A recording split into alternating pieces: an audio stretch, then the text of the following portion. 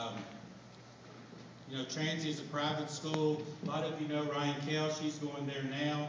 We've also got another student that's going to be going there next year, and he was able to receive a scholarship to Transylvania University, which is something that is pretty impressive. And I'm very proud of him for that, and it just shows that he's done an excellent job to be able to receive a scholarship from them. The competition is pretty steep.